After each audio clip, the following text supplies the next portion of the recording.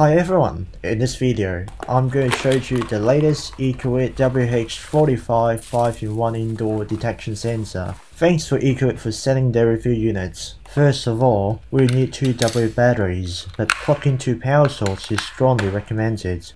Then you see the red light lights up, it means it's powering on. Now, it's time to check out the Ecowitt dashboard because we've got 4 new tiles on the screen. Comparing to the original WH43 indoor air quality sensor, the WH45 comes with 4 extra sensors.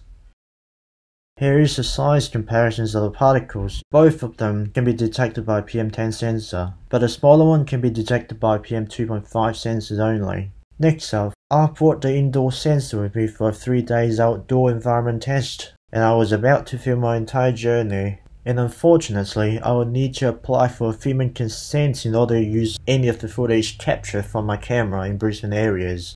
And here we are, the results without touching boundaries of laws in Brisbane.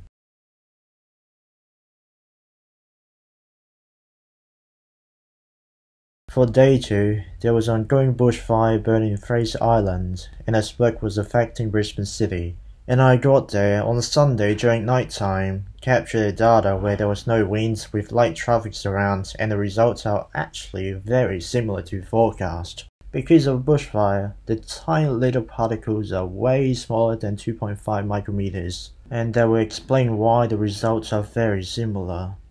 On day 3, things went a little bit different here. We have the local traffics with light winds, and here are the results.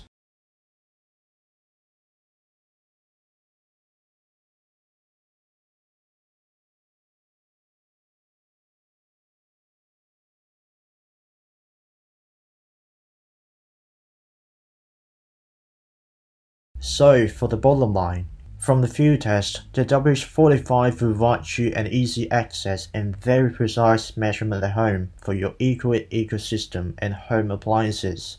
And the forecast, it usually takes a couple of days or even a week to update the impacts of bushfire to areas. The sudden change applies like the nearby bushfire and the local traffics will definitely affect the forecast. With the WH45 sensor, that will give you an affordable and accurate data at home. Anyways, thanks for watching and I will see you in the next video.